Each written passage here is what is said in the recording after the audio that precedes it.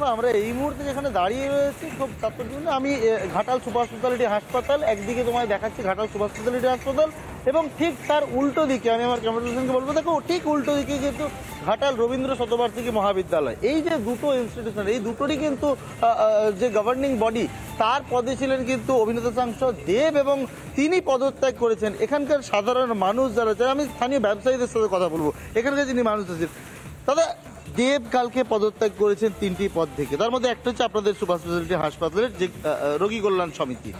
কি মনে করছেন দাদা? কীভাবে দেখছেন হ্যাঁ, দেখছি বলতে উনি তো একজন সিনেমা আর্টিস্ট ওনার পক্ষে সম্ভব নয় যে এত তিনটা চারটা যে কমিটির যে চেয়ারম্যান এই টাইম দেওয়া সম্ভব নয়।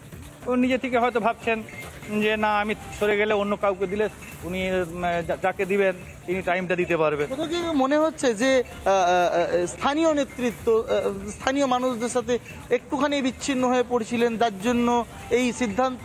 না না না সেরকম উনি কি চান? আপনি তো ঘাটলের মানুষ কি চান?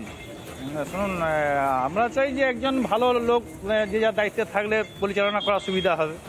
উনি কি বলবেন দাদা? আপনাদের এখানে দেব তো পদত্যাগ করলেন। কি বলবেন? কীভাবে দেখছেন বিষয়টা? দেখতে পাচ্ছি যে আসে ছ মাস ছাড়া করে আসে। এই কাজ জন্য লোক অপেক্ষায় অপেক্ষায় থাকে। উন্নয়ন হয়েছে? ঘাটের উন্নয়ন? কিছুটা উন্নয়ন হয়েছে কিছুটা উন্নয়ন হয়নি। কেন হয়নি? কেন কি মনে হয়? টাকার জন্য বা পরিষেবা দিতে পারছে না। এর কি দেব সময়ের অভাব হচ্ছে? সময়ের অভাব হচ্ছে। ধরুন ছ মাস এক বছর ছাড়া ছাড়া আসছে। আমি আমার সঙ্গে আরও এক ভাই রয়েছে। কি বলবে দাদা? কি পরিস্থিতি? দিতেই হয়নি। ঠিক আছে তৃণমূল দরকারটাই দেব দেবের যে চেলা চামুন্ডারা আছে তারাই সব সর্বনাশ করে দিচ্ছে। দেব ভালো মানুষ আমরা চাইব দেবকে আমরা আরও দেবকে ভোট দেওয়ার ইচ্ছা আছে দেব গুরুত্ব দিন দিচ্ছে নি। আর আর মানে মানে দেবের নাম ভাঙিয়ে কোথাও গিয়ে হ্যাঁ। সেটার হচ্ছে রামমান্নার মতন প্রতিনিধি থাকলে দেবের জীবনেও উন্নতি হবে এখানকার স্থানীয় নেতৃত্বের সঙ্গে কি দেবের একটু দূরত্ব তৈরি হয়েছে? মানে এটা তো বারবার খবরেই এসছে। ঘাটালের মানুষ সবথেকে ভালো আমি আশা করি সৌন্দর্যলোকে এইটা দায়িত্ব দেওয়া উচিত ছিল।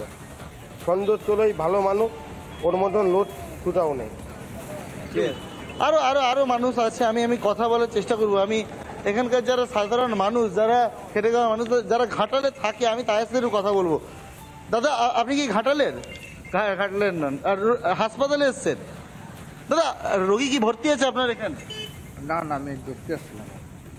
একটা কথা বলুন এই যে রোগী কল্যাণ সমিতি ঘাটাল সুপার স্পেশালিটি হাসপাতাল তার পদ থেকে দেব রিজাইন করে দিয়েছে।